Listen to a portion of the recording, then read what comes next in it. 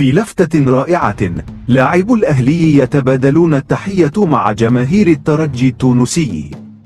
تبادل لاعبو الفريق الأول لكرة القدم بالنادي الأهلي مع جماهير نادي الترجي التونسي.